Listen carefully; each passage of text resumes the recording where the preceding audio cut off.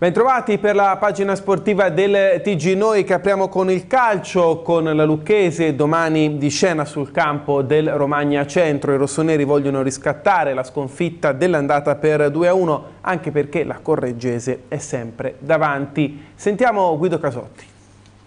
Uno degli snodi fondamentali nel lungo viaggio verso la promozione è il 4 maggio, data epilogo del campionato di Serie D. Quella di Cesena contro Romagna Centro è senza dubbio una gara importante per la Lucchese che è partita con un obiettivo ben preciso, cercare la vittoria, tre punti per restare incollata col fiato sul collo alla capolista correggese che presumibilmente farà un sol boccone del Forcoli nel classico testa coda di Capannoli. Pagliuca la margherita ormai l'ha sfogliata, quasi consumata, e gli rimane un solo petalo da incastonare nell'11 che calerà sul sintetico di Manuzzi, sostenuto da circa 200 tifosi appollaiati in curva nord. Gialdini a rinforzare la mediana, al posto del pur valido De Luca può essere questa la novità.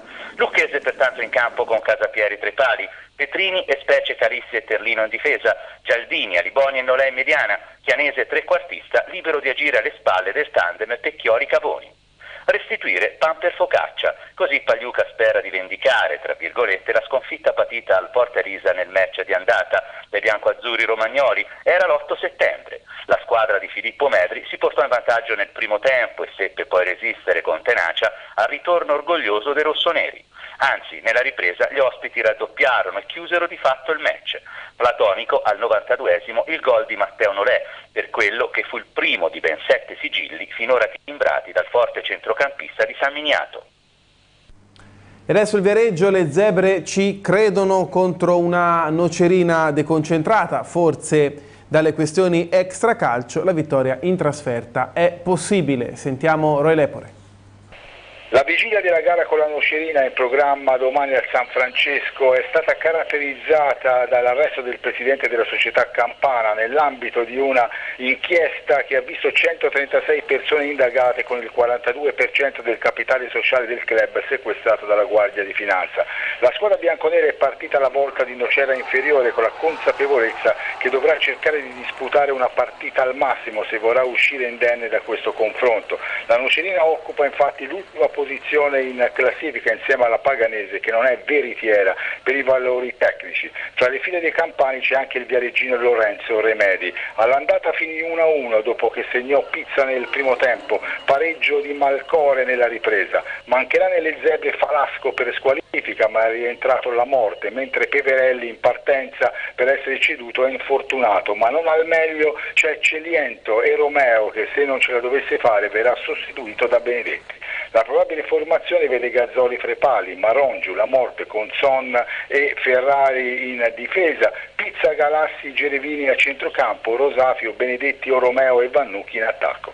Tra le note positive per le Zebe ci sono gli 11 punti conquistati con la gestione di mister Lucarelli, che si spera vengano incrementati anche dopo questa trasferta. Intanto le Zebe nella classifica per la Coppa Disciplina stilata dalla Lega Pro sono al quarto posto. Sul fronte mercato sempre più insistenti i nomi che vengono accostati alla Viareggio del difensore Nicolao e del centrocampista Mungo del Perugia. Intanto nell'anticipo del campionato il Frosinone ha battuto il Pisa 1-0 e balza in testa alla classifica.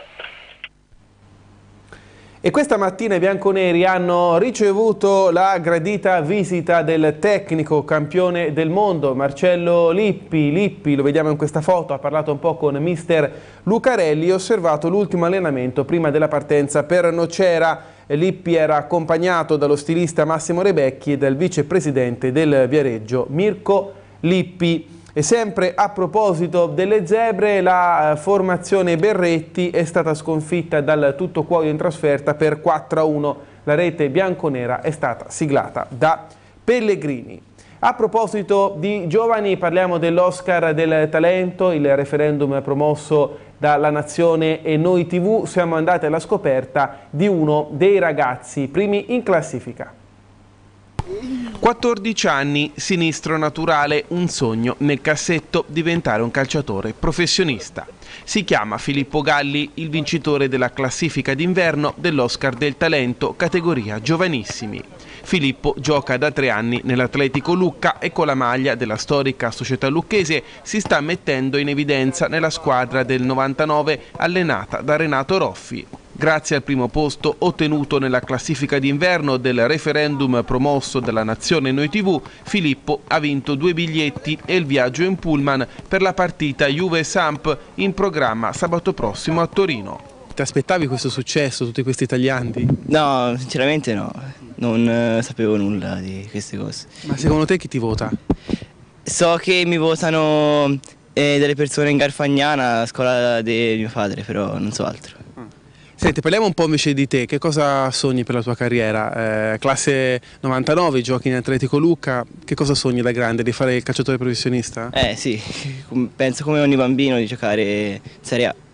In che squadra in particolare? Nel Milan, io tifo Milan. Non ti ho chiesto nulla del ruolo, giochi terzino sinistro e questo è il ruolo che ti piace di più? Sì, gioco terzino sinistro, però mi piacerebbe anche giocare più avanti, però mi accontento. Ma segni ogni tanto? Qualche volta sì. Come? In inserimenti, basta. Colpo di testa? Poco, poco, perché a saltare su calci d'angoli non ci vado. La sua squadra sta andando molto bene e sta lottando punto punto con la Lucchese per la vittoria del campionato. Ma noi eravamo partiti diciamo con un po' di preoccupazione perché erano andati via diversi ragazzi alla Fortis e invece piano piano siamo riusciti a creare un buon gruppo dove dove mi sto levando delle soddisfazioni. Mm, il discorso che siamo a un punto dalla Lucchese è relativo perché credo che la Lucchese sia molto superiore a noi, eh, però noi ci accontentiamo anche del secondo posto e speriamo perché ora inizia il, il girone di ritorno, poi dovremo incontrare la Lucchese e altre squadre dove sarà un po' dura. E vi ricordo che l'Oscar del Talento va avanti e ogni giorno potete trovare i tagliandi pubblicati sul quotidiano La Nazione. Vediamo nel dettaglio chi ha vinto i due biglietti per assistere a Juventus Sampdoria più il viaggio in pullman offerto da Santini Viaggi di Lucca e Castelnuovo nella categoria juniores, Mattia Tortelli del Fornaci di Barga, Filippo Galli, come detto, dell'Atletico Lucca fra i giovanissimi, Samuele Bacchini della Lucchese fra gli esordienti e Tommaso Cecilia, anche lui della Lucchese, per la scuola calcio. E adesso vediamo i risultati della quindicesima eh, giornata di terza categoria. Partiamo dal girone A, Atletico Forte dei Marmi, Retignano 0-0, Lido di Camagliore, Ninfeto Relaghese 5-2, Montagna Seravezzina, Sporting Forte dei Marmi 1-2, Pian del Quercione Corsanico 0-2, Pian di Conca, Pian di Mommio 3-1, San Macario Bozzano 3-2, Unione Chiesa, Don Bosco 3-2, Versilia Vado è il posticipo, in testa alla classifica il Versilia con 37 mm, punti, l'Unione Chiesa 34, Pian di Mommio 33, poi Corsanico 27, seguono tutte le altre, chiudono Montagna Sravezzina 8, Bozzano 0 punti. Nel girone B Atletico Gragnano, Atletico Luca 0-1, Capannori Pontecosi 1-3, Gallicano Luca 7 2-0, Piazza Il Cerchio Silicagnana 0-2, Ponte Moiano San Lorenzo 2-0, Sant'Ana Molazzana 2-1, Valdottavo Segromigno 0-5, Virtus Robur San Vito 0 a 0, Silicagnana 38 punti, Atletico Lucca 31, Gallicano 29, Pontecosi 28, Segromigno 26 e poi via via tutte le altre. Chiude la classifica la Virtus Robur con 5 punti.